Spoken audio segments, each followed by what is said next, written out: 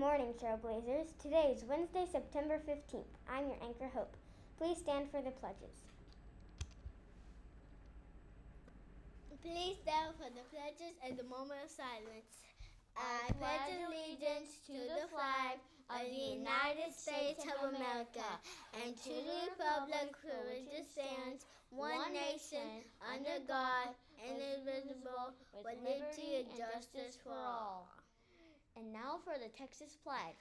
Honor the Texas flag. I pledge allegiance to thee, Texas, one state under God, one and indivisible.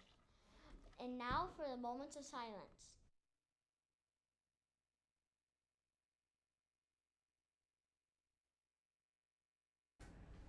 Please be seated. The lunch choices for today are Choice 1 is chicken nuggets, Choice 2, fruit yogurt, fruit yogurt and cheese plate, and Choice 3, harvest salad bar.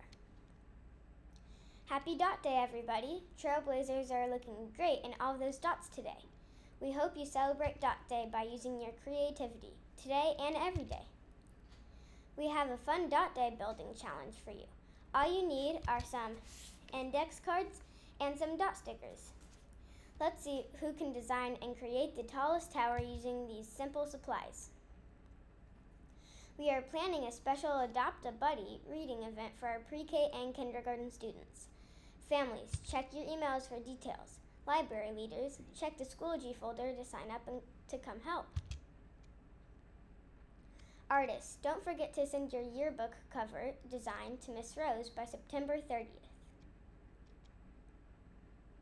We've read over 100 books so far for our school wide reading challenge. Students, can you read more than your teacher? Don't forget to fill out the Google form on the, lib- on the library website when you finish a book. Well, that's all the news we've got for you today at the JLJ TV News Desk. Remember, Trailblazers, be safe, be respectful, and be responsible. And have a wonderful Wednesday. Bye.